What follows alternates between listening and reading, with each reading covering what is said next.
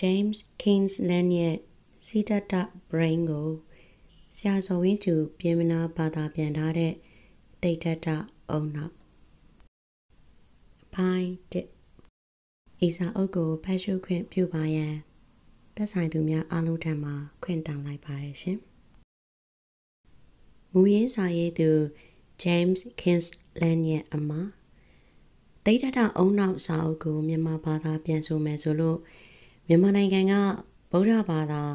ဘုန်းတော်ကြီးတစ်ပါးလည်းဖြစ်စာရေးဆရာတူလည်းဖြစ်တဲ့ဆရာတော်နန္ဒစာရစီကကြားသိရတဲ့အတွက်ကျွန်တော်ချိန်နဲ့ဝဲမြောက်မိပါတယ်။ဘာသာပြန်ဆိုမှုကိုတပါရှိတဲ့ဘာသာပြန်ဆရာဇော်ဝင်းကျူကဆောင်ရွက်မယ်ဆိုတာကိုသိရတဲ့အတွက်လည်းကျွန်တော်အနေနဲ့ထူးဝမ်းသာမိပါတယ်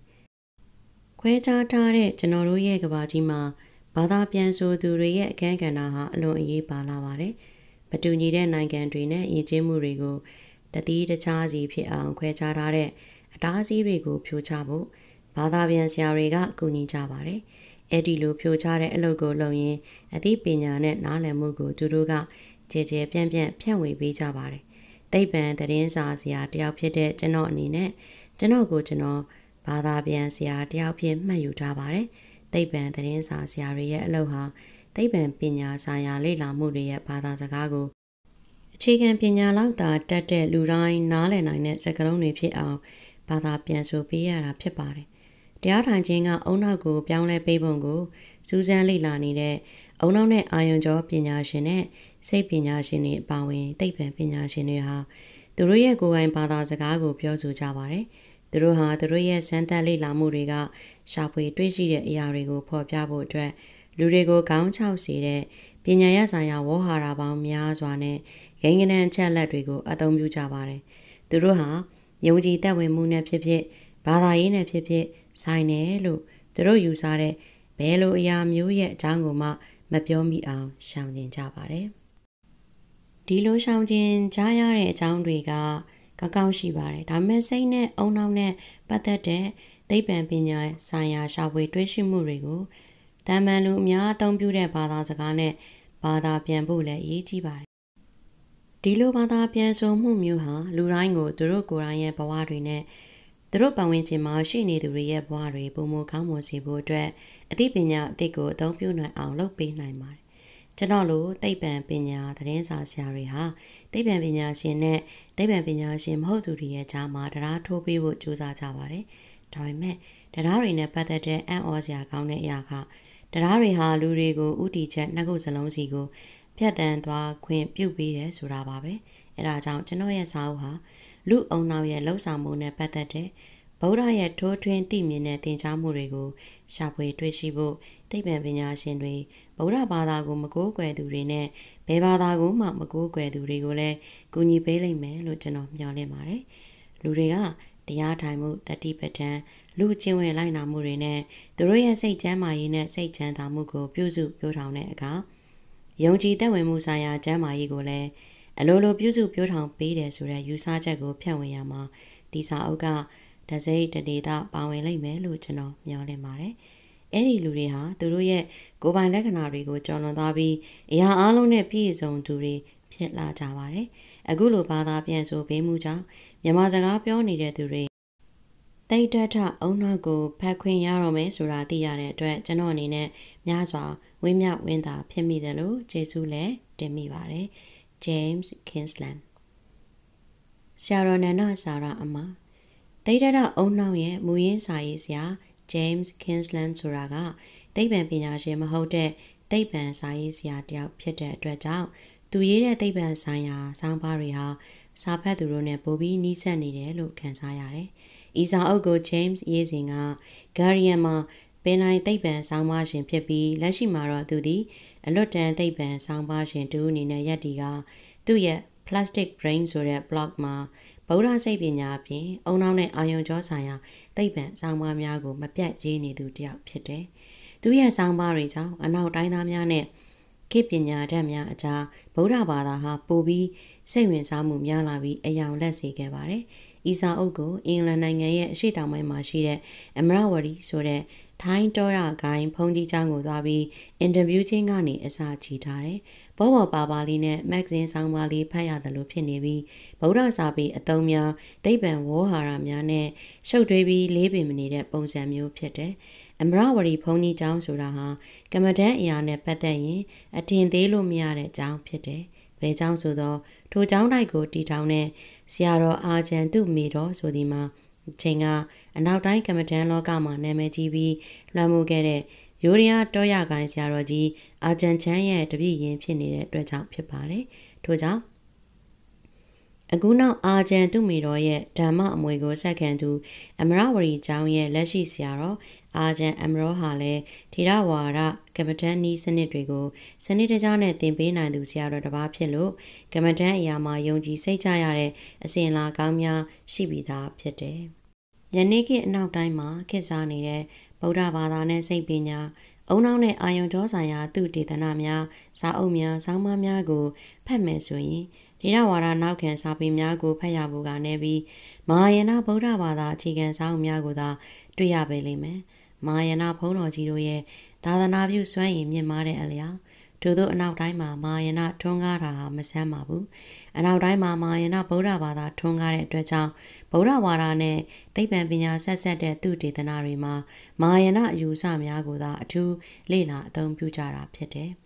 တို့ပြင်မာယနာဘုန်းတော်ကြီးများဟာလည်းရင်းပညာရှင်တို့ရဲ့သူတေသနာများကိုအကြံပေးရန်အကဲဖြတ်ရန်အတွက်လုံလောက်တဲ့ပညာရည်ချင်းများနဲ့ အားဆိုင်ထုတ်မှုများရှိကြသေးတယ်။ဤလက်ရှိတိတ်ထထအုံနောက်စာအုပ်တွင်ရှာရှာပါပါဆိုသလိုပင်ထေရဝါဒသင်ကြားမှုအယူဆအများစုကိုအခြေခံထားတဲ့အကြောင်းအရာတွေကျင့်ကြံအားထုတ်မှုတွေကိုတွေ့ရပါလိမ့်မယ်။ဤဒီပင်လျင်တိတ်ထထအုံနောက်ရဲ့ထူးခြားမှုဖြစ်ပါတယ်။တိတ်ထထဂေါရမရဲ့စစ်မှန်တဲ့တစ္ဆာတရားကိုရှာပုံတော်ဖွင့်ခဲ့ပုံကမ္မထံအားထုတ်ပြီးဘုရားဖြစ်လာပုံထို့နောက်ဗုဒ္ဓဘုရားမှာ ထင်ရှားတဲ့ဖြစ်ပျက်တွေနဲ့ဟောကြားခဲ့တဲ့အခြေခံတရားတော်တွေကိုနောက်ဆုံးပြိဋိဘံဆန်တဲ့အထိအုံနောက်နဲ့အာယုံကျော်သိပ္ပံဆိုင်ရာအမြင်များနဲ့ရောဆက်ပြီးတင်ပြထားတဲ့ဤစာအုပ်ဟာစာဖတ်သူတွေကိုအလွန်မဲဆွဲဆောင်နိုင်ပါတယ်။ဇာလန်တစ်ခုကိုခြေခံပြီးဖတ်ရှုလေ့လာနေရသလိုဖြစ်တဲ့အတွက်ကြောင့်လေးပင်ခြင်းမရှိပါဘူး။တချို့အခန်းတွေရဲ့အဆုံးမှာ guided meditation လို့ခေါ်တဲ့ ကမ္မထန်နီးကလေးများကိုအားထုတ်နိုင်အောင်လမ်းညွှန်ပေးထားတဲ့အတွက်ကြောင့်လဲစာဖတ်သူတို့အနေနဲ့လိုက်ပြီးအားထုတ်နိုင်ပါလိမ့်မယ်။ဤချက်ဟာတိတ်တတ်အုံနောက်ရဲ့လက်တွေ့အသုံးဝင်မှုပဲဖြစ်ပါတယ်လွန်ခဲ့တဲ့နှစ်နဲ့ငယ်ကဤစာအုပ်ကိုအညွှန်းဖတ်မိပြီး2019ခုနှစ်မှာဒီရီလင်္ကာကျွန်းကိုရောက်ရောက်ချင်းဖတ်ချင်လို့လို့လိုက်ရှာခဲ့ပေမဲ့ဘယ်မှမမရခဲ့ပါဘူး။အဲဒါကြောင့် တက္ကသိုလ်မှာဗုဒ္ဓစိတ်ကုထုံဘာသာရပ်တင်တဲ့ဆရာသမားကလည်းဖတ်ချင်တယ်ဆိုတော့ UK ထိနောက်အုပ်လမ်းမှာပြီးအငန်းမရဖတ်ခဲ့ရဘူးတယ်။ဤသို့သောဘာသာရပ်ဆိုင်ရာစာအုပ်တွေဟာအထူးသဖြင့်ဗုဒ္ဓဘာသာဘုန်းတော်ကြီးများမဖြစ်မနေလေ့လာဖတ်ရှုထားရမယ့်အရာများဖြစ်တယ်လို့သုံးသပ်ပြီးဘာသာရပ်ဆိုင်ရာဝေါ်ဟာရအခက်အခဲများရှိနေတဲ့ကြားကမဖတ်တန်လဲဖတ်တန်အောင်စူးစမ်းပြီးဖတ်ခဲ့ရတယ်။နောက်ပိုင်းကာလတွေမှာတော့ဇာကိုရန်ရောမိမိပါ ဤစာအုပ်တွေကအကြောင်းအရာတွေကိုကိုးကားပြီးသင်ကြားပို့ချချက်တွေထဲမှာထည့်သွင်းဖော်ပြခဲ့ကြတယ်။ဤစာအုပ်ကိုဘယ်သူဘယ်အချိန်မြန်မာဘာသာပြန်မလဲဆိုပြီးစောင့်နေရတာကြာပါပြီ။နောက်ဆုံးတော့တားငယ်စာအုပ်တိုက်ကနေပဲဆရာဇော်ဝင်းကျူပြင်မနာရဲ့အုံနောက်စီးတွေကတုံးအနေနဲ့ထွက်လာပြီဆိုတော့အလုံးမဲဝမ်းမြောက်ဝမ်းသာဖြစ်ရပါတယ်။ဆရာဇော်ဝင်းကျူပြင်မနာကသူ့ရဲ့အုံနောက် series တွေတဲကတုံးဖြစ်တိတ်တရအုံနောက်ဆိုပြီးဘာသာပြန်ပေးလိုက်တော့ မသိနားမလည်ခဲ့တဲ့ဝေါ်ဟာရာတွေကိုရှင်းရှင်းလင်းလင်းနားလည်ခွင့်ရသွားပါပြီ။မြန်မာရန်တော်ရီမြန်မာနိုင်ငံကဗုဒ္ဓဘာသာဝင်တွေနဲ့သိပ္ပံပညာကိုစိတ်ဝင်စားသူစာဖတ်ပရိသတ်တွေအတွက်အလွန်ကြိုးများတဲ့စာအုပ်ဖြစ်လိမ့်မယ်လို့ယုံကြည်ပါတယ်။ထို့ပြင်ဒေတာဝါဒဗုဒ္ဓသာသနာထုံးတမ်းစဉ်လာတွေအယူဆတွေနဲ့လည်းတိတ်မဝေးတဲ့အတွက်ကြောင့်အဲ့ဒီအကြောင်းအရာတွေကိုဖတ်ရမှာမလို့မြန်မာစာဖတ်ပရိသတ်တွေအတွက်ပိုပြီးအဆင်ပြေပါလိမ့်မယ်။တရားမထိုင်ဖြစ်သူတွေ တရားထိုင်ရန်အတွက်အကြောင်းပြချက်ကောင်းကောင်းရှာမရသေးသူတွေအတွက်လည်းဤစာအုပ်ကတရားထိုင်ဖြစ်သွားအောင်ကူညီနိုင်ပါလိမ့်မယ်။မူရင်းစာရေးသူ James Kingsland ကိုဒီလိုဒီလိုပဲ James ရဲ့မင်းရဲ့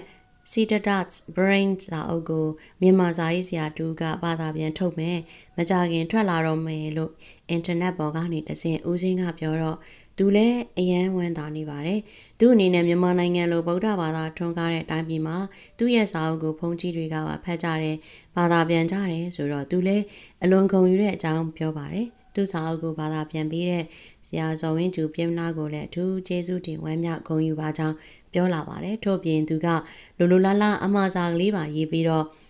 ဤတိတ်တတအုံနောက်စာအုပ်အတွက်ပို့ပြီးအမတ်တရများဖြစ်ရပြန်ပါတယ်။ James ကဲ့သို့ပင်ဦးစင်းအနေနဲ့လည်းအင်မတန်ဝင်းမြောက်ရပါတယ်။ဗုဒ္ဓစိတ်ပညာတတိပဒံကျင့်စဉ်များနဲ့အုံနောက်နဲ့အာယုံကြောဆိုင်ရာဘာသာရပ်တို့ကိုထူးစိတ်ဝင်စားတဲ့ဦးစင်းအနေနဲ့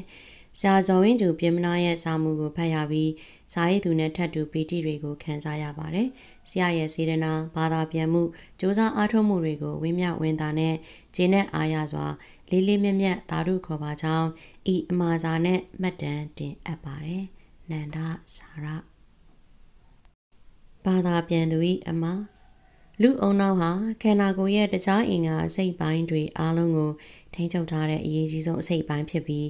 တတိတရားရဲ့ဘူဌာနလည်းဖြစ်ပါတယ်။သူရဲ့ဖွဲ့စည်းတည်ဆောက်ပုံနဲ့သူက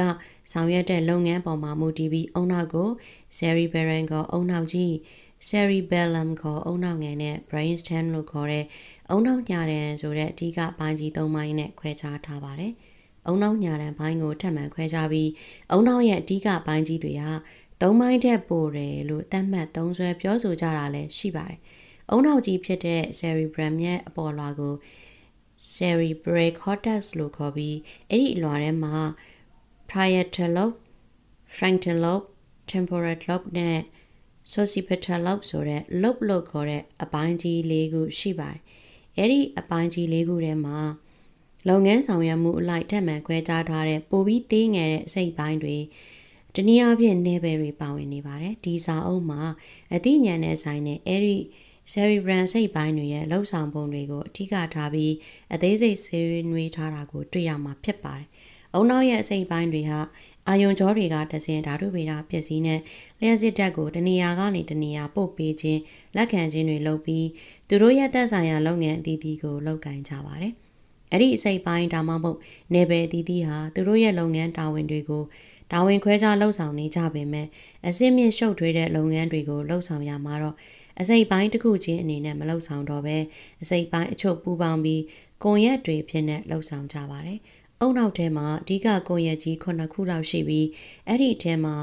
DMN လို့ခေါ်တဲ့အလိုလျောက်ပုံစံနဲ့လှုပ်ဆောင်တဲ့ကွန်ရက်ဟာစိတ်ကိုခြေဦးတက်ရသွားစေပြီး ထိမ့်သိမ့်မှုခက်ခဲအောင်လှုံ့ဆော်နေတဲ့ကွန်ရက်ဖြစ်တဲ့အတွက်အဲ့ဒီကွန်ရက်ရဲ့လှုံ့ဆော်မှုတွေကိုတတိပဒံတရားထိုင်ခြင်းနဲ့ဘယ်လိုပြောင်းလဲပြစ်နိုင်တယ်ဆိုတာကိုဇာရေးသူကဒီစာအုပ်ထဲမှာအကျယ်တဝင်းစူးစမ်းလေ့လာတင်ပြထားပါတယ်ဒီစာအုပ်မှာအခန်းတစ်ခုစီကိုဗုဒ္ဓရဲ့ဘဝဖြစ်စဉ်တစ်ခုနဲ့အစပြောပြီး အဲ့ဒီဖြစ်စဉ်နဲ့ဆက်ဆက်နေတဲ့ဗုဒ္ဓရဲ့သင်ကြားမှုနဲ့အဲ့ဒီသင်ကြားမှုကိုထောက်ခံနေတဲ့တင့်လျော်စီလျော်တဲ့သိပ္ပံနိကြတွေးရှိချက်တွေကိုစူးစမ်းလေ့လာတင်ပြထားပါတယ်။တရားထိုင်ခြင်းဟာအုံနောက်ပေါ်မှာရုပ်ပိုင်းရရောစိတ်ပိုင်းရပါနည်းနည်းတဲ့အကျိုးတရားမှုတွေရှိနေတာကိုဇာယေသူကထင်ရှားပေါ်လွင်အောင်ထောက်ပြထားပြီးဒီချက်မှန်ကန်ကြောင်းကိုခေတိသိပ္ပံပညာနဲ့ကဘာတော်ဝင်းမှာဝိပဿနာတရားအားထုတ်နေကြတဲ့ ဗုဒ္ဓဘာသာယဟန်နဲ့ဘိက္ခုနီပေါင်းများစွာပေါ်လေ့လာတွေးရှိမှုတွေကအခိုင်အမာထောက်ခံနေကြတာကိုလည်းဖော်ပြထားပါတယ်။နေ့ကာလတန်းတဲ့ချီအောင်ကြာမြင့်ခဲ့တဲ့လူသမိုင်းတလျှောက်လူသားတို့ကသူတို့ရဲ့ဘဝဆက်လက်ရှင်သန်ရေးအတွက်အစွမ်းကုန်ရုန်းကန်စူးစမ်းရင်းသူတို့ရဲ့ရွေးချယ်ပြုမှုလုပ်ကိုင်မှုတွေကြောင့်လူအုံနောက်ရဲ့ဖွဲ့စည်းပုံနဲ့လှုပ်ဆောင်ပုံတဘာဝတွေ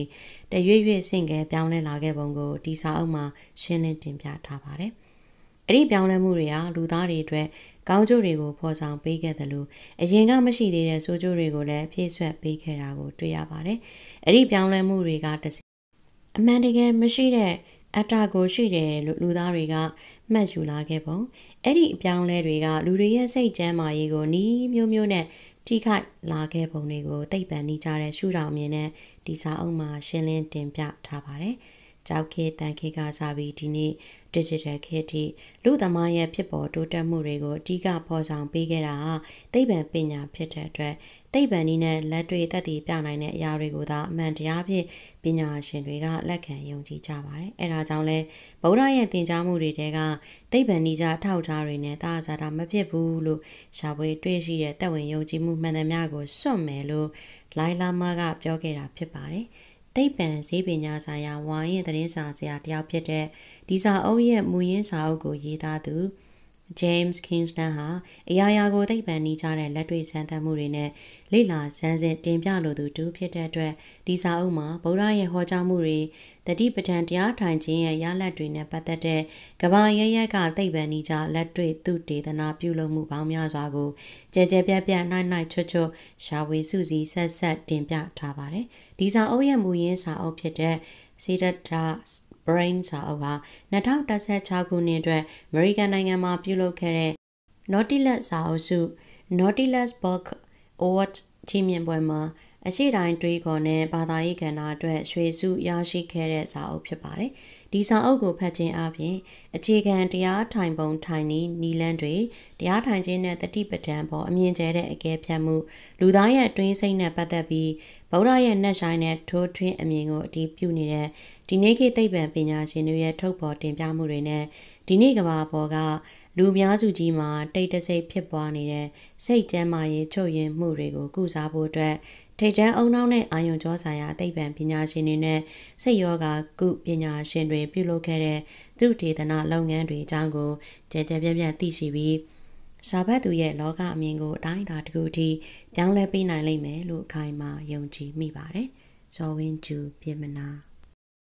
ဆရာဇော်ဝင်းကျူပြင်မနာကအုံနောက် series လို့ပြောရမယ်ဗုဒ္ဓအုံနောက်တတိပဒံအုံနောက်နဲ့ အခုတိတ်တရအုံနောက်ဆိုပြီးစာအုပ်သုံးအုပ်ရှိပါတယ်။တူတာကတတိပဒံအုံနောက်နဲ့အခုတိတ်တရအုံနောက်ကိုဖတ်ရှုနေတာပဲဖြစ်ပါတယ်။အဲ့ဒီစာအုပ်နှုတ်ကိုဆက်ဆက်ပြီးတော့နားထောင်လိုက်မယ်ဆိုလို့ရှိရင်လည်းအတော်လေးအဆင်ပြေထိရောက်မယ်လို့ထင်ပါတယ်။ဒါဟာအကြံပြုတာပဲဖြစ်ပါတယ်။မိတန်ကျုပ်တို့အားလုံးစိတ်ယောဂဖြစ်နေကြတာပါလို့ အုတ်ထုပ်ကကားကြီးကိုဆောင်းထားတဲ့ရန်တစ်ပါးကပြောလိုက်ပြီးဒီစကားကအရာအလုံးကို ရှင်းပြလိုက်ပြီးဆိုတဲ့သဘောနဲ့အဲ့ဒီရဟန်းကပြုံးနေပါတယ်ကျွန်တော်အပေါ်ဖြစ်သူနဲ့ကျွန်တော်ဟာတောင်ပိုင်းအင်္ဂလန်ချီတန်ဟေးဒေတာဟမ်မဟမ်စတက်မြို့နီကအမရဝရီဗုဒ္ဓဘာသာဘုန်းကြီးကျောင်းမှာဧည့်သည်တွေဖြစ်နေနှညတာနေထိုင်နေကြတာဖြစ်ပါတယ်ကျွန်တော်ဟာဂါဒီယန်သတင်းစာကြီးကသိပ္ပံကဏ္ဍသတင်းစာဆရာတယောက်ဖြစ်ပြီး ကျောင်းနိုင်ဆရာတော်အကျန်းအမော်တို့နဲ့အင်တာဗျူးလုပ်ဖို့မနေ့ကလန်ဒန်ကနေမီးရထားနဲ့လာခဲ့တာဖြစ်ပါတယ်။ဆရာတော်ဟာအသက်50ကျော်ရွယ်ရှိပြီးထိုင်းနိုင်ငံကအသစ်တော်ထဲမှာတင်းကျပ်ထားတဲ့ဗုဒ္ဓဘာသာရဲ့ထုံးတမ်းစင်လာတွေကိုသင်ယူလေ့ကျင့်ခဲ့တဲ့ရင်ကျေးပြူငါရှိသူ အင်္ဂလိပ်လူမျိုးတယောက်ဖြစ်ပါတယ်။ကျွန်တော်တို့၃ယောက်သားဟာမနက်ကင်းရဲ့လင်းလက်တဲ့နေအောင်ကြီးအောက်မှာဘုန်းကြီးကျောင်းကတရားစခန်းရဲ့ဈေးတုပ်ထားတဲ့ တရားထိုင်တဲကလေးတွေစီကနေတက်ရက်တဲ့ဘန်းကင်းကလေးနှစ်ခုကြားကဖြတ်ပြီးမြက်ခင်းတစ်ခုစီကိုသွားတဲ့လမ်းလေးတစ်ခုပေါ်မှာရပ်နေကြပါတယ်။အတိမြက်ခင်းပေါ်မှာယောက်ျားတွေမိန်းမတွေဟာသူတို့တယောက်စီရဲ့ကိုပိုင်ကဘာလေးတစ်ခုစီထဲမှာအတီးတီးနှိမ့်မြုပ်ပြီးတမင်လောက်ယူထားတဲ့နေကွေးချင်းမျိုးနဲ့တော်တော်ကိုနေနေကလေးလမ်းလျှောက်နေကြပါတယ်။တချို့ကတစ်ပင်နှစ်ပင်ကြားမှာအရင်က သူများတွေနင်းထားခဲ့တဲ့ထောင်နဲ့ချီတဲ့ခြေရာတွေပေါ်ထက်နေပြီးခောက်တုတ်ခောက်ပြန်ရှောက်နေကြပါတယ်။တချို့ကတော့မြက်ခင်းမီရဲ့အလဲကောင်မှာနံပါတ်ကြောင်းနဲ့တီထားတဲ့ခေါင်းလောင်းပုံစေးဒီတဆူကိုထပ်တလဲလဲမရက်မနာပတ်ပြီးရှောက်နေကြပါတယ်။လူဝစ်ကြောင်30လောက်အတွက်တရင်နှစ်ပတ်တရားစကန်တခုကိုပြီးခဲ့တဲ့ညနေခင်းကစဖွင့်ခဲ့တဲ့အတွက်ဒီမနက်မှာတော့နေလုံအုတ်ထုပ်ကြီးကိုစောင်းထားတဲ့ကျောင်းထိုင်ဆရာတော်က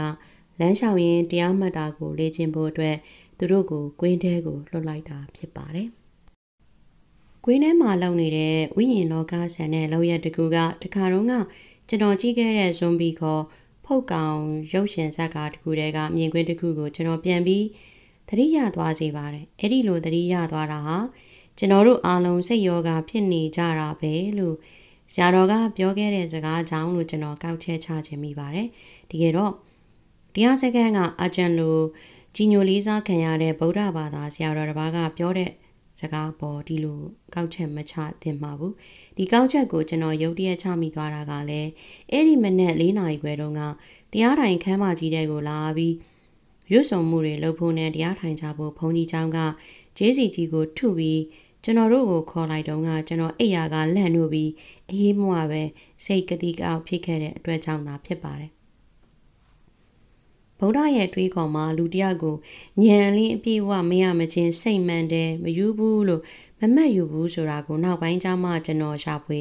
တွေ့ရှိခဲ့ပါတယ်။နာရီတလုံးမြန်နေနှီးနေတာလို့လူစိရဲ့ရန်နေရာမှာချုပ်ရင်းမှုတွေရှိနေတယ်လို့ဗုဒ္ဓကယုံကြည်ထားပါတယ်။ကျွန်တော်တို့ကကိုကိုကိုဆင်ချင်းတုံတရားရှိတယ်စိတ်ပိုင်းဆိုင်ရာကျမ်းပါတယ်လို့ဘယ်လိုပဲယုံကြည်ယုံကြည်ကျွန်တော်တို့ဟာကျွန်တော်တို့ရဲ့လူမှုရေးနဲ့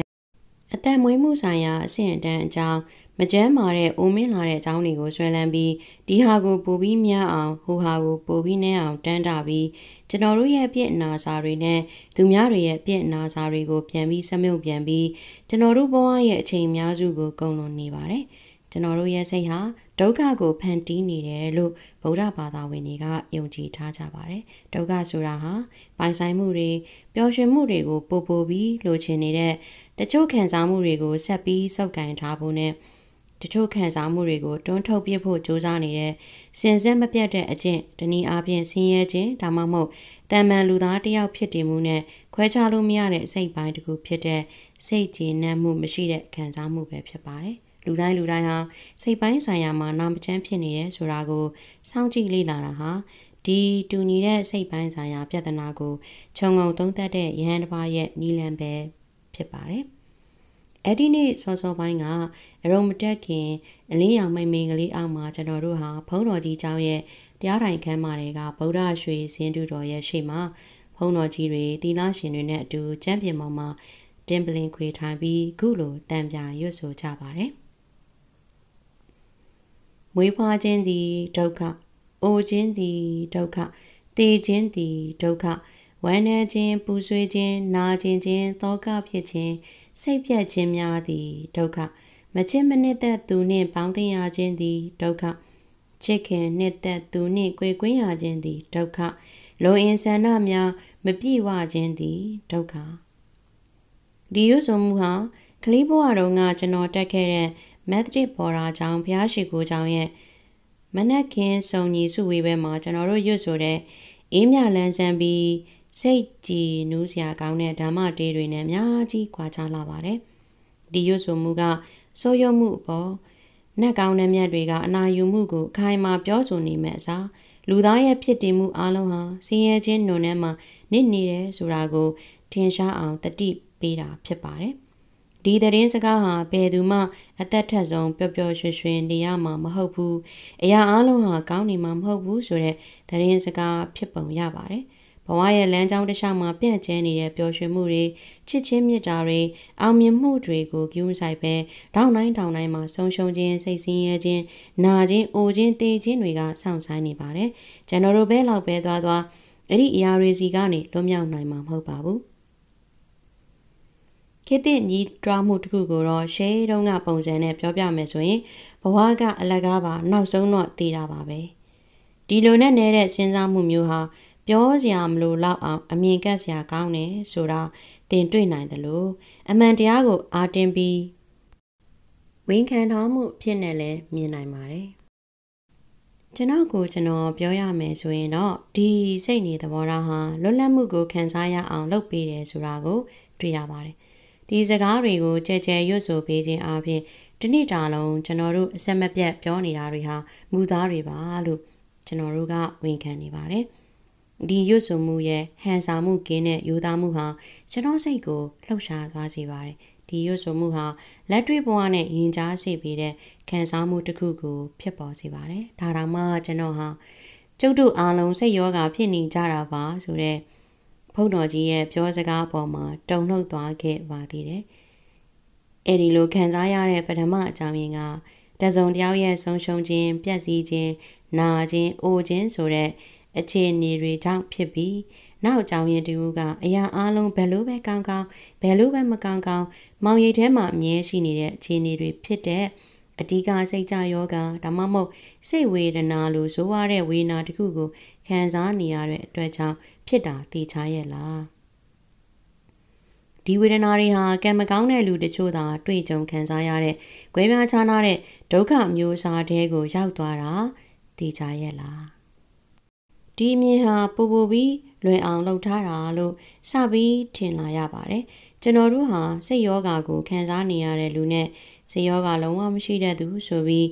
လူနှမျိုးပဲရှိတယ်ဆိုတဲ့ယူဆချက်နဲ့ကျင့်သားရလာခဲ့ပါပြီ။လက်တွေ့မှာတော့ဒီကိစ္စကထင်ရတာတဲ့အများကြီးပိုပြီးပုံပါပါတယ်။စိတ်ကြယောဂါဆိုရင်ကြောင်းကြမှုစိတ်ကစင်ကလျားဖြစ်မှုစိတ်ကြွနဲ့စိတ်ကြ တလက်စီဖြစ်တဲ့ bipolar ယောဂအစားရှိတဲ့ရှီယိုစင်လာယောဂစစ်တမ်းတွေဟာတစ်ချိန်လုံးကသူတို့ယုံကြည်ခဲ့သလိုတိကျရှင်းလင်းပြတ်သားမှုမရှိဘူးဆိုတာနဲ့လူနာတွေကိုဟိုယောဂဒီယောဂရှိနေတယ်လို့တစိတ်ကပ်ဖို့အသုံးပြုတဲ့ယောဂလက္ခဏာတွေဟာတကယ်တော့ကျေပြန့်ပြီးတန်မှန်လူတွေထဲမှာအဆက်မပြတ်ပြောင်းလဲနေတဲ့ဖြစ်စဉ်ကြီးပေါ်မှာတည်နေတယ်ဆိုတာကိုယခုကစေယောဂကုဆရာဝန်တွေစပြီးသဘောပေါက်လာနေပါပြီ။ တော်တော်ရှားပါတယ်လို့ယူဆထားတဲ့ဘင်ကိုစရိုက်လက္ခဏာတစ်ခုလုံးကို ထိခိုက်တဲ့ပြင်းထန်တဲ့ဆေယောဂါအကြောင်းကိုစဉ်းစားကြည့်ပါမယ်။ရှီယိုးစင်လာအရာဒီယောဂါကိုရှုပ်ထွေးပြီးအနှောက်အယှက်ပေးနေတဲ့အတွေ့တွေစိတ်အာရုံခြောက်ခြားမှုတွေထင်အောင်ထင်မှားဖြစ်မှုတွေတခြားလူတွေကကိုယ့်ကိုအန်နီယပြုဖို့စူးစမ်းနေတယ်ဆိုတဲ့အခြေအမြင့်မရှိတဲ့ယုံကြည်မှုလိုမျိုးသူများပေါ်တန်တရားလွန်ကဲမှုတွေကိုခံစားနေရမှုဖြစ် ဖော်ပြကြပါတယ်။စင်စစ်မှာတော့စိတ်အာယုံခြောက်ချမှုနဲ့သူများပေါ်တန်တရားလွန်ကဲမှုဟာလူများနားလည်ထားတာတဲ့အများကြီးပိုပြီးတန်မှန်လူတွေမှာဖြစ်ပွားတတ်ပါတယ်။ကျွန်တော်တို့တဲက30ရာခိုင်နှုန်းအထိဟာကျွန်တော်တို့ရဲ့ဘဝတွေကတစ်ချိန်ချိန်မှာ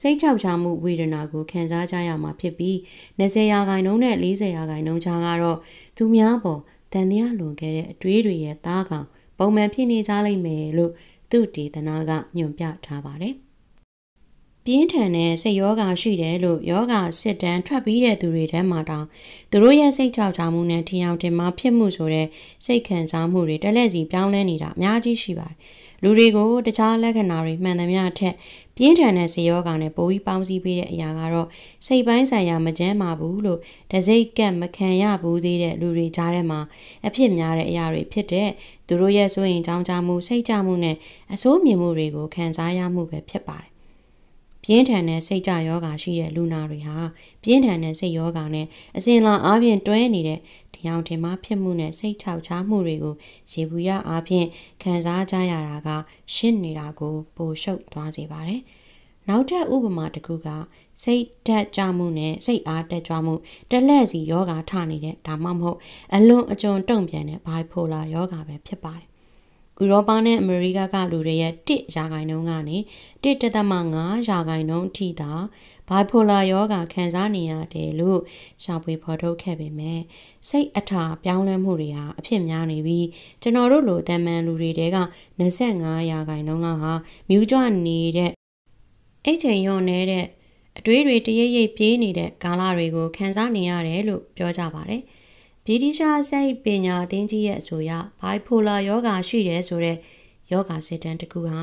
ပြင်းထန်တဲ့စိတ်ဝေဒနာအတွက်ယောဂါစစ်တမ်းလိုပဲ ပေါ့ပြက်ပြက်လောက်ထားတာဖြစ်ပြီးဒီယောဂါရဲ့လက္ခဏာတွေဟာအားလုံးသောလူတွေစီမှာအဆက်မပြတ်ရှိနေတယ်ဆိုတာကိုဒီအချက်ကညွန်ပြနေပါတယ်။အဲဒါကြောင့်စိတ်နေကောင်းတယ်စိတ်နေမကောင်းဘူးဆိုတာနှစ်ခုစလုံးနဲ့ပတ်သက်နေတဲ့စိတ်မအီမသာဖြစ်စေတဲ့နောက်ခံအကြောင်းတရားတစ်ခုရှိတယ်လို့ယူဆရပါတယ်။တမယိုးကြယောဂါစစ်တမ်းတွေဟာပင်လယ်ထဲမှာမျောနေတဲ့ရေခဲဆိုင်ကြီးရဲ့ထိပ်ပိုင်းလောက်သာဖြစ်ပေမဲ့အတိရေခဲဆိုင်ကြီးရဲ့ရေပေါ်မှာပေါ်နေတဲ့အပိုင်းမှာတောင်မကောင်းတာတွေကတော်တော်လုံးလောက်နေပါပြီ။ဒူးချင်းဝင်ငွေ GDP မြင့်မားမှုဝင်ငွေကွာဟမှုနေပါမှုပုဂ္ဂလိကလွတ်လပ်မှုကောင်းမွန်တဲ့အာဟာရအလွန်ကောင်းတဲ့ပြည်သူ့ကျန်းမာရေးစောင့်ရှောက်မှုလူတွေရဲ့ပြန်မြတ်တန်ရှင်မှုနဲ့တခြားကောင်းခြင်းတွေရဲ့ကျေးဇူးကြောင့် ကမ္ဘာပေါ်မှာပျော်ရွှင်ဆုံးနိုင်ငံဆိုတဲ့နာမည်နဲ့နှစ်ပေါင်းများစွာပျော်ရွှင်ခဲ့တဲ့ဒိမတ်လိုနိုင်ငံမျိုးမှာတောင်စိတ်ကျန်းမာရေးဝန်ဆောင်မှုလုပ်ငန်းတွေဟာခက်ခဲနေပါတယ်။သူတို့နိုင်ငံကကောင်းတဲ့အရာတွေအားလုံးရဲ့ကြားကပဲတဏှာရာမှာဖြစ်နေတဲ့ပြင်းထန်တဲ့ဇယောဂါတွေအတွက်ကုသမှုခံယူဖို့လိုအပ်နေတဲ့ဒိမတ်လူမျိုးတွေရဲ့အရေးအတွက်ဟာအံ့ဩစရာကောင်းလောက်အောင်မြင့်တက်နေပါတယ်။ ဒိမတ်မျိုးသမီး38ရာခိုင်နှုန်းလောက်နဲ့ဒိမတ်မျိုးသား32ရာခိုင်နှုန်းလောက်ဟာသူတို့ရဲ့တသက်တာအတွင်းမှာစိတ်ရောဂါကူစေယုံဒါမှမဟုတ်စေကံတစ်ခုခုမှာဈေးကူးသားမှုခံယူနေကြပါလိမ့်မယ်။ဒိမတ်နိုင်ငံနဲ့ကမ္ဘာတဝင်းလုံးမှာရှိတဲ့တခြားနိုင်ငံတိုင်းမှာရှိတဲ့တခြားလူပေါင်းများစွာဟာကျွမ်းကျင်တဲ့ပညာရှင်တွေရဲ့ဒီလိုအကူအညီမျိုးကိုမရယူပဲစိတ်မကြမ်းမာမှုတွေကိုခံစားနေကြရပါတယ်။သူတို့ဟာ သူတို့ဘာသာသူတို့ခက်ခက်ခဲခဲရုန်းကန်စူးစမ်းရင်းနေ့စဉ်စိတ်မကြမ်းမာမှုဖြစ်နေတဲ့တိုးတိုးတိတ်တိတ်ယောဂခံစားနေကြတဲ့လူများစုကြီးဖြစ်ပါတယ်။စိတ်ကြမ်းမာရေးပြဿနာတွေဟာဘဝရဲ့စောစောပိုင်းမှာပဲစတင်ပါတယ်။တကယ်ပါလုံးကကလေးတွေရဲ့30ရာခိုင်နှုန်းဝန်းကျင်မှာစစ်ဆေးရင်တွေ့နိုင်တဲ့စိတ်ယောဂတစ်ခုခုရှိတယ်လို့ခံမှန်းထားပါတယ်။အကြမ်းမြင့်အားဖြင့်တဝက်လောက်ကစိုးရင်ကြောင်းကြတဲ့စိတ်ယောဂနဲ့ကြံတဝက်လောက်က ပြုတ်ပူနေထိုင်မှုဆိုင်ရာစိတ်ယောဂဒါမှမဟုတ် ADHD လို့ခေါ်တဲ့အာယုံဆိုင်မှုလျော့နေပြီးအငြိမ်မနေတဲ့ယောဂကိုခံစားနေကြရတာဖြစ်ပါတယ်။ဒီကလေးတွေတော်တော်များများဟာပျော်ရွှင်မှုကင်းမဲ့စွာနဲ့ကြီးပြင်းလာကြမှာဖြစ်ပါတယ်။ကလေးတယောက်ဟာဘဝပေါ်မှာခြေနဲ့တဲ့လူကြီးတယောက်ဖြစ်လာမယ်ဖြစ်မလာဘူးဆိုတာကိုပြတဲ့အကောင်းဆုံးနမိတ်လက္ခဏာဟာပညာရေးမှာအောင်မြင်မှုပေါင်းသင်းဆက်ဆံတတ်မှုနဲ့ မိသားစုနောက်ကျောင်းနေမဟုတ်ပါဘူး။ကလေးဘဝတုန်းကသူ့မှာရှိခဲ့တဲ့စိတ်ကျမ်းမာရေးသာဖြစ်ပါတယ်။စိတ်ယောဂါတွေအများပြားပြန့်နှံ့နေမှုနဲ့အဲ့ဒီယောဂါတွေရဲ့လက္ခဏာတွေဟာတမန်လူတွေအားလုံးထဲမှာအဆက်မပြတ်ပြင်းပြင်းထန်ထန်ရှိနေတယ်ဆိုတဲ့အချက်ကအဲ့ဒီယောဂါတွေဟာစီးကြိုယောဂါနဲ့ဗန်းနာယောဂါလို့ကွဲပြားထင်ရှားတဲ့အခြေအနေတွေမဟုတ်ပဲ တမန်လူတွေရဲ့အခြေအနေတွေအလွန်ကြုံပေါ်လာမှုသာဖြစ်တယ်ဆိုတာကိုညွှန်ပြနေပါတယ်။မျိုးရိုးကြီးပြင်းမှုတဲ့ဘဝဖြစ်ရတွေဟာလူတချို့ကိုတခြားလူတွေထက်ပိုပြီးစိတ်ထိခိုက်လွယ်အောင်လုပ်ရမှာဇွမ်းအားကြီးမားတဲ့ခန္ဓာတစ်ခုကနေတီချပေါက်ပါဝင်နေပါတယ်။အဲ့ဒီစိတ်ပိုင်းဆိုင်ရာဝယုံသုံးကားဖြစ်မှုအတွက်ဖြစ်တင်မယ်ဆိုရင်ကျွန်တော်တို့မှာတူတူပိုင်ဆိုင်ထားတဲ့စိတ်ပိုင်းဆိုင်ရာအရေးချင်းတနည်းအားဖြင့်အုံနောက်တဲကအခြေခံအင်္ဂါကိုပဲအကြီးအကျယ်ပြစ်တင်ရပါလိမ့်မယ်။ စိတ်မကြမ်းမာမှုပေါ်ရှေးရိုးစင်လာရယောဂစစ်တမ်းဟာကျွန်တော်တို့ပြဿနာတွေရဲ့အစိတ်ပိုင်းတစ်ခုလောက်ကိုသာဖမ်းမိပြီးလူဖွဲ့စည်းထဲမှာကြမ်းဖက်မှုဇွဲလန်းတဲ့ပဋိပက္ခတွေကြဲကြဲပြက်ပြက်ပြန့်နှံ့နေမှုဟာစိတ်ပိုင်းဆိုင်ရာရန်တရားကြီးအစဉ်ပြေချုံးဝင်နေတယ်ဆိုတာကိုညွန်ပြနေတာမဟုတ်ပါဘူး။ဒါဆိုရင်ဘာလို့ရမှာလဲ။ဒါကလူစိတ်ရဲ့ မွေးရပါအားနည်းချက်တွေကိုပြုပြင်ဖို့ကျွန်တော်တို့ကအချိန်တွေအကြာကြီးမကြိုးစားဘဲနေလာခဲ့တယ်လို့ဖြစ်နေတာမဟုတ်ပါဘူးကျွန်တော်တို့ရဲ့ချိနေနေတဲ့အုံနောက်တွေကိုပြုပြင်ဖို့ကြိုးပမ်းမှုတွေဟာလူယဉ်ကျေးမှုရဲ့တက်တန်းကြာသလောက်ကြာခဲ့ပါပြီကမ္ဘာကိုယ်ွယ်မှုဘာသာကြီးတွေကြားကတခုတည်းသောတူညီတဲ့ရည်တည်ချက်ဟာဒိန်းချောင်းရခတ်တဲ့စိတ်ကိုအမိတ်နာခံအောင်လုပ်ဖို့အတွက်ထောင်စုနှစ်တွေနဲ့ခြီးပြီးကြအောင်သူတို့အကောင်းဆုံးစူးစမ်းခဲ့ကြတာပဲဖြစ်တယ်လို့သိအနေနဲ့ပြောလို့ရပါတယ်အဲဒါကြောင့် ကျုပ်တို့အားလုံးစိတ်ယောဂဖြစ်နေကြတာပါလို့အဂျန်မာတို့ကပြောလိုက်တဲ့အခါဗုဒ္ဓဘာသာဟာကုသစီဖြစ်တယ်ဆိုတဲ့ပိုပြီးရဲရဲနဲ့သွယ်ဝိုင်းညှိုးဆုံမှုကိုတောင်ပါပါတယ်။ဘာသာအလုံးဟာတူညီတဲ့ဥတီချက်ကိုသူတို့နီသူတို့ဟန်နဲ့အောင်မြင်မှုတိုင်းတာမျိုးမျိုးနဲ့ရဖို့ကြိုးစားနေကြပါတယ်။ဗုဒ္ဓဘာသာကိုတခြားဘာသာတွေနဲ့မတူအောင်ခွဲခြားထားတယ်လို့ယူဆရတဲ့အရာကတော့တင်းကျပ်တဲ့ယူဝါဒပညာချက်တွေ နတ်ဗျာတွေရဲ့ဂျားဝင်မှုတွေမပါဘဲဒီချက်သိမ်းမွေးညင်းထလောက်တဲ့စွမ်းဆောင်မှုကြီးကိုရအောင်လုပ်ဖို့ဒီဘာသာကရည်မှန်းထားတာပဲဖြစ်ပါတယ်။ဗုဒ္ဓဘာသာကိုးကွယ်တဲ့ဘာသာတစ်ခုလုံးဝမဟုတ်ပါဘူး။အ ਨੇ ဆုံးအနေနဲ့တမယိုးကြအတိတရားအရာအဲ့ဒီလိုမဟုတ်ဘူးလို့လူတော်တော်များများကငင်းခုန်ပြောဆိုကြပါတယ်။ဘာသာမဲ့ပြီးအယုံကြည်ကင်းမဲ့တဲ့ကျွန်တော်လိုလူတယောက်အတွက် တဘာဝလွန်ယုံကြည်မှုစနစ်ကင်းမဲ့နေခြင်းကဗုဒ္ဓဘာသာကို တော်တော်သဘောကျစရာကောင်းအောင်လုပ်ပေးလိုက်ပါတယ်။လွန်ခဲ့တဲ့9နှစ်လောက်ကဗုဒ္ဓဘာသာရဲ့တွေးခေါ်တဲ့ကျင့်စဉ်တွေကိုကျွန်တော်ပထမဆုံးစပြီးစိတ်ဝင်စားလာခဲ့တုန်းကတခြားဘာသာတွေရဲ့ဘာသာစကားမှာမကောင်းမှုဒုစရိုက်လို့ခေါ်တဲ့တက်မှတ်ခြင်းအစာကျူခြင်းပြင်းရည်ခြင်းအမျက်ဒေါသမနာလိုမှုမာနကြီးခြင်းစတဲ့အရာတွေကို ဗုဒ္ဓဘာသာဝင်တွေကရှောင်လွဲလို့မရတဲ့ကြောင်းကျိုးနိယာမတွေရဲ့လှုပ်ဆောင်မှုအရစိတ်မချမ်းမြေ့စရာအကျိုးဆက်တွေကိုရိတ်သိမ်းမဲ့မကျွမ်းကျင်တဲ့အပြုမှုလို့ပို့ပြီးဂျားကြကြအမိပေးပုံပေးနည်းကလည်းဗုဒ္ဓဘာသာပေါ်ပို့ပြီးစိတ်ဝင်စားအောင်ကျွန်တော်ကိုလုပ်ခဲ့ပါတယ်ဆိုလိုရင်းကအကျင့်ကောင်းမွန်ပြီးတင်းနေရောက်ရဲတဲ့လူသားတယောက်ဖြစ်ဖို့ဆိုတာဟာမော်တော်ကားမောင်းတာလို့ကိတ်မုတ်ဖုတ်တာလို့တင်ယူလို့ရတဲ့ကျွမ်းကျင်မှုတစ်ခုဖြစ်တယ်လို့ဆိုချင်တာဖြစ်ပုံရပါတယ်။ တင်လေးချင်းလေးအဲ့ဒါကိုတင်ပို့ပြီးကောင်းကောင်းရလေဖြစ်ပါတယ်။ဒီနည်းနဲ့မြင်တဲ့အခါတစုံတယောက်ကိုသူ့ရဲ့လောဘဒါမှမဟုတ်မာနအတွက်တင်မြင်ချက်ပေးတာဟာကာမမောင်တဲ့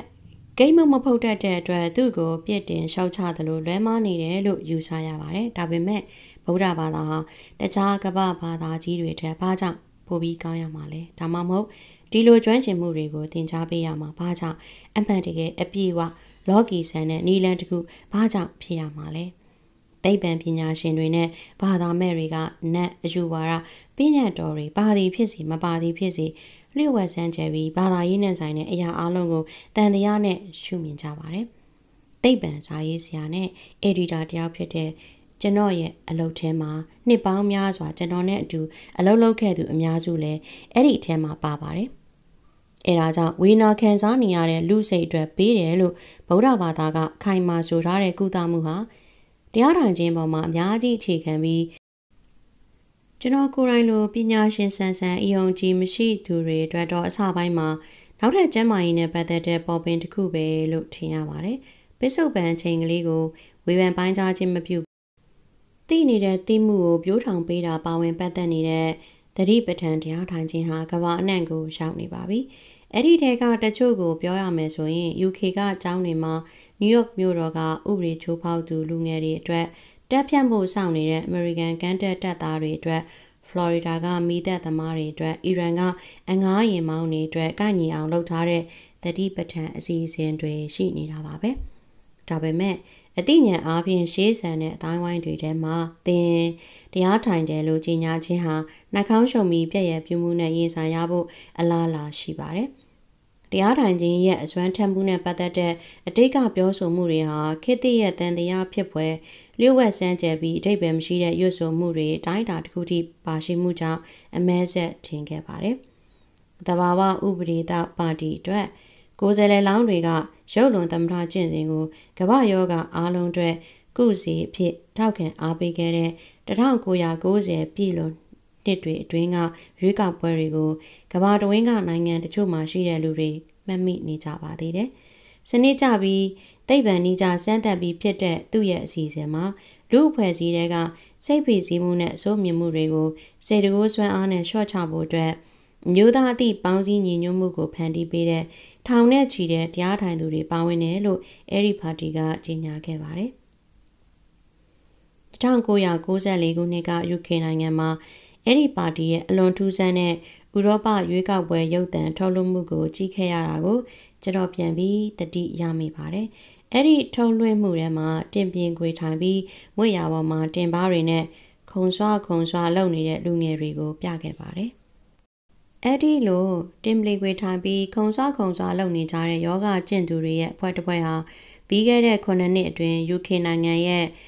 မာစီဆိုက်စီရင်စုမှာဒူးစရိုက်ဖြစ်ပွားမှုနှုန်းကို60ရာခိုင်နှုန်းရှော့ချပေးခဲ့ပြီးပြီလို့ကျွန်တော်တို့သိခဲ့ရပါတယ်။ဒီနောက်ွယ်ကဖြစ်ရအနေနဲ့လွန်ခဲ့တဲ့ဆယ်စုနှစ်အနည်းငယ်အတွင်းမှာဈေးကူးသားမှုမှာအလားအလာရှိတဲ့သတိပဋ္ဌာန်တရားထိုင်ခြင်းရဲ့အကျိုးကျေးဇူးတွေကိုစမ်းသပ်စစ်ဆေးနေတဲ့သိပ္ပံပညာရှင်တွေဟာ သူတို့ကိုလေးစားခံရဖို့အတွက်ကြိုးကြိုးဆဆလောက်ကင်ခဲ့ကြရပါတယ်။ဒီနယ်ပယ်မှာသူတို့စလုပ်ခဲ့တဲ့အချိန်တုန်းကဆိုရင်တရားထိုင်ခြင်းကိုစူးစမ်းလေ့လာနေတယ်လို့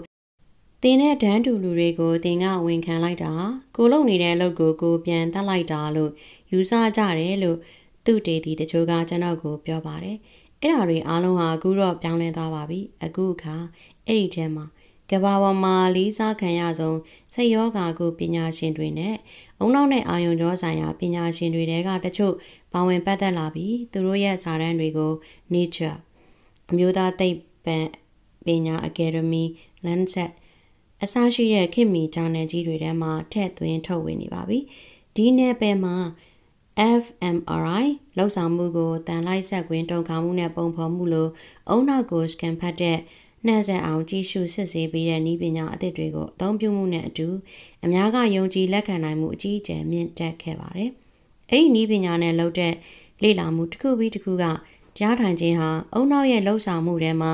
တိတာမြင်သာတဲ့ပြောင်းလဲမှုတွေကိုဖြစ်ပေါ်အောင်လုပ်ပေးနေတယ်ဆိုတာကိုပြခဲ့ပါတယ်။နောက်ထပ်ထူးခြားတဲ့ဖြစ်ပေါ်တိုးတက်မှုတစ်ခုကတော့ရဟန်းတွေရဲ့ထုံနှန်းစင်လာမျိုးမျိုးနဲ့တရားထိုင်တဲ့အတွေ့အကြုံဆယ်စုနှစ်တွေနဲ့ချီပြီးရှိခဲ့တဲ့ ဗုဒ္ဓဘာသာတရားအားထုတ်သူတွေရဲ့အုံနောက်တွေကိုမကြသေးခင်ကလေ့လာမှုတွေပဲဖြစ်ပါတယ်။ဒီသူတေသနာဟာအဓိကအားဖြင့်1980ပြည့်လိုနှစ်တွေကလေးကသိပ္ပံပညာရှင်တွေနဲ့လိုင်းလာမတို့ရဲ့သမယိုးကျဆွေးနွေးမှုတွေကနေပေါ်ပေါက်လာခဲ့တာဖြစ်ပါတယ်။ဒီလုပ်ငန်းမှာအနီးကပ်ဆုံးပါဝင်ပတ်သက်နေခဲ့တဲ့အုံနောက်နဲ့အာယုံကျော်သိပ္ပံပညာရှင်တယောက်ကတော့ Wisconsin တက္ကသိုလ်က Richard Davidson ဖြစ်ပြီး တရားထိုင်သူတွေစီကနေကျွန်တော်တို့လေ့လာစရာတွေအများကြီးရှိနေသေးတယ်လို့သူကပြောပါတယ်ဒီသူတေသနာဟာစိတ်ရဲ့ပိုပြီးကျန်းမာတဲ့အလေးအကျင့်တွေကိုပြိုးထောင်မှုအတွက်ဒီထုံတန်းစင်လာတွေရဲ့အလားလာရှိတဲ့တန်ဖိုးကိုမိမောင်းထိုးပြခဲ့ပါတယ်။ဒီလေ့ကျင့်အသက်တွေကိုထကူပေးဖို့အတွက်စိတ်ကိုလေ့ကျင့်မှုကအုံနောက်ထဲမှာအခြေခံကြတဲ့ပြောင်းလဲမှုတွေကိုဖြစ်ပေါ်စေပါတယ်လို့သူကကျွန်တော်ကိုပြောပါတယ်။ ကျမ်းမာပျော်ရွှင်မှုကိုမြင့်တင်ပေးဖို့အတွက်အုံနောက်ရဲ့အတွေ့အကြုံတွေကတင်ယူပြီးကျွမ်းကျင်မှုအသစ်တွေကိုဖော်ထုတ်တဲ့အခါမှာသူ့ကိုယ်သူကြိုးရှိအောင်ပြောင်းလဲနိုင်စွမ်းဖြစ်တဲ့မွေးရာပါပျော့ပြောင်းမှုကိုထိန်းချုပ်သုံးချလို့ရတယ်လို့သူကယုံကြည်ပါတယ်။ဒီရှုမြင်မှုအရာပျော်ရွှင်မှုဟာတခြားအရာတွေလိုပဲစူးစမ်းလေ့ကျင့်မှုနဲ့ဖော်ထုတ်လို့ရတဲ့ကျွမ်းကျင်မှုတစ်ခုဖြစ်ပါတယ်။ဒါပေမဲ့တရားထိုင်ခြင်းရဲ့တတိထားစရာတစ်ခုကျန်နေပါသေးတယ်။ အဲ့ဒီမနေ့ကဘုန်းတော်ကြီးเจ้าမှာကျွန်တော်ရဲ့အစိုးမြင်တဲ့ဟာတာကိုဖြစ်ပေါ်စေတဲ့အဖြစ်များတဲ့နားလည်မှုလွဲမှုကတော့တရားထိုင်ခြင်းဟာတနည်းအားဖြင့်ဖုတ်ကောင်တွေဖြစ်အောင်ပြောင်းလဲဖြစ်တယ်ဆိုတာပဲဖြစ်ပါတယ်။အာဂျင်မော်ရိုနဲ့လုပ်ခဲ့တဲ့အင်တာဗျူးကိုကျွန်တော်ပြန်ဖွင့်ကြည့်တဲ့အခါဒီအကြောင်းအရာကိုတင်ပြခဲ့တာသူပဲဆိုတာကိုရှာဖွေတွေးကြည့်ခဲ့ရတဲ့အတွက်စိတ်သက်သာရာရသွားပါတယ်။အတ္တကင်းမဲ့မှုပြိုးထောင်မှုကိုလေးထားတဲ့ဗုဒ္ဓဘာသာဟာ ကိုယ့်ကိုယ်ကိုတိုးတက်အောင်အဆုံးမရှိစူးစမ်းမှုကိုအလေးထားတဲ့အနောက်တိုင်းယဉ်ကျေးမှုကိုလက်ခံမှုခက်ခဲတယ်လို့ကျွန်တော်ကသူ့ကိုရိုးတိုးရိတ်တိတ်ပြောခဲ့ပါတယ်။အဲ့ဒီစူးစမ်းမှုကမန်နန်ကင်းမှာအိယာကထပြီးဇာဝိနေရေးအတွက်ငွေချအောင်ကျွန်တော်တို့ကိုလုပ်နေတဲ့အရာဖြစ်ပါတယ်။သူကလက်မခံပါဘူး။ဗုဒ္ဓဘာသာကျင့်စဉ်ထဲမှာကျုပ်တို့ဟာလိုအင်ဆန္ဒတွေက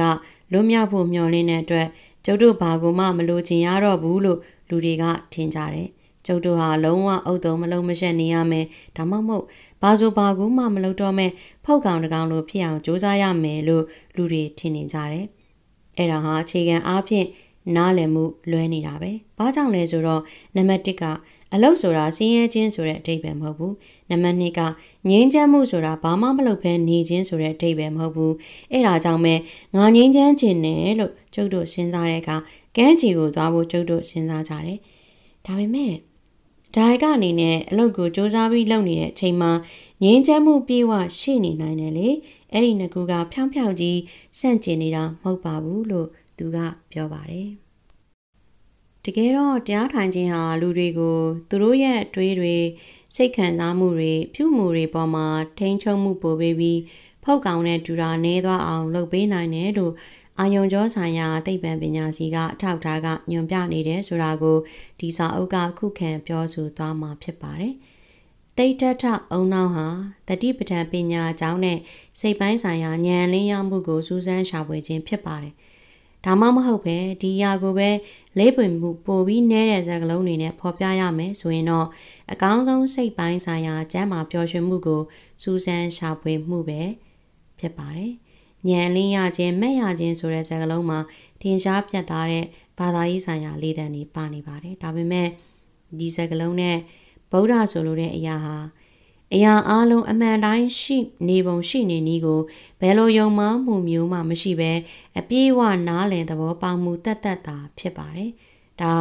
ကျွန်တော်တို့ကဘာကြီးရဲ့ဓာတုဗေဒယူပဗေဒနဲ့ဇီဝဗေဒပညာတွေကိုစူးစမ်းလေ့လာတဲ့အခါ သိပ္ပံပညာရှင်တွေရဖို့ကြိုးစားနေတဲ့အရာနဲ့အများကြီးကွာခြားမှုမရှိပါဘူး။ယုံကြည်သက်ဝင်မှုဆိုင်ရာဆိုတဲ့ရှုပ်ထွေးတိမ်မွေးတဲ့တခြားစကားလုံးက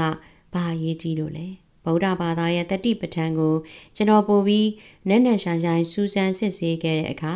အာဂျန်မာရိုလိုဆရာတွေကပေးတဲ့ဘာသာရေးဆိုင်ရာလမ်းညွှန်မှုနဲ့စိတ်ကျန်းမာရေးဆရာဝန်တွေကပေးတဲ့တတိပဒံသင်တန်းတွေကိုခွဲခြားထားတဲ့စီးဟာပြတ်သားမှုပိုပိုပြီးနည်းလာခဲ့ပါတယ်။ ပြီးခဲ့တဲ့ဆယ်စုနှစ်အတွင်းမှာမူရည်စေးဆွဲမှုစိတ်ကြယောဂစွရင်ကြောင်းကြမှုတခြားစိတ်ပီစီမှုတွေကိုကုသဖို့အတွက်လောကီပုံစံတတိပဒံတရားထိုင်မှုတွေရဲ့တိရောက်မှုကိုစမ်းသပ်ခဲ့တဲ့ထောင်နဲ့ချီတဲ့လေ့လာမှုတွေကိုထုတ်ဝေခဲ့ပါတယ်။ဒီနီလန်ဟာလူတွေရဲ့စိတ်ပိုင်းဆိုင်ရာကျန်းမာရေးဒါမှမဟုတ်စိတ်ကျန်းမာပျော်ရွှင်မှုကိုပိုပြီးကအောင်စ조사ခြင်းဖြစ်တယ်ဆိုတာကိုသင်ယုံကြည်တာမယုံကြည်တာကတော့ ရှုထောင့်အမြင်ဆိုင်ရာပြဿနာပဲဖြစ်ပါတယ်။သင်ရဲ့စကလုံးရွေးချယ်မှုဟာတတိပဋ္ဌာန်လေးကျင့်သင်ကြားမှုကိုဖုံးတော်ကြီးเจ้าမှာပေးတယ်ဒါမှမဟုတ်စီကံတကန်းမှာပေးတယ်ဆိုတဲ့အပေါ်မှာမူတည်ပါလိမ့်မယ်။အချမတို့ဟာတခြားဗုဒ္ဓဘာသာဆရာတွေတော်တော်များများလိုပဲသူ့ကိုယ်သူဘာသာရေးဆိုင်ရာအကြံပေးပုဂ္ဂိုလ်တယောက်ဖြစ်နေစိတ်ကျန်းမာရေးဆိုင်ရာအကြံပေးပုဂ္ဂိုလ်တယောက်ဖြစ်မြင်ပါတယ်။လူတွေကသူတို့ရဲ့စိုးရင်ကြောင်းကြောင်းမှုတွေ သူတို့ရဲ့ပြဿနာတွေနဲ့စိတ်ကျဉ်ကျပ်မှုတွေကိုနေ့စဉ်နေ့တိုင်းသူ့ကိုဖွင့်ပြီးပြောပြကြပါတယ်။သူကနားထောင်ပြီးဖြစ်နိုင်တဲ့ဆောင်ရွက်ပုံဆောင်ရွက်နည်းတွေကိုအကြံပေးပါတယ်။တကယ်တမ်းကတော့သူ့ရဲ့အခန်းကဏ္ဍနဲ့တတိပဒံကုတုံးမှာကျွမ်းကျင်တဲ့လူဝိချောင်တယောက်ရဲ့အခန်းကဏ္ဍကြားမှာကွာခြားမှုများများမရှိပါဘူး။ပိုအရေးကြီးတာကတတိပဋ္ဌာန်ရဲ့အစွမ်းထက်မှုအတွက်ကုသမှုဆိုင်ရာထောက်ထားက ဘယ်လောက်ခိုင်လုံသလဲမွေးဖွားခြင်းသည်ဒုက္ခအိုခြင်းသည်ဒုက္ခတေခြင်းသည်ဒုက္ခဝမ်းနည်းခြင်းပူဆွေးခြင်းနာကျင်ခြင်းတောကဖြစ်ခြင်းစိတ်ပြက်ခြင်းများသည်ဒုက္ခမချစ်မနှစ်သက်သူနှင့်ပေါင်းသင်းရခြင်းသည်ဒုက္ခချစ်ခင်နှစ်သက်သူနှင့်ကြွေကွင်းရခြင်းသည်ဒုက္ခလုံအင်ဆန္ဒများမပြေဝခြင်းသည် ဒုက္ခနောက်တစ်ပိုင်းကိုဆက်လက်တင်ဆက်မှာဖြစ်ပါတယ်ရှင်ကျေးဇူးတင်ပါတယ်ရှင်ကျွန်မတူတာပါ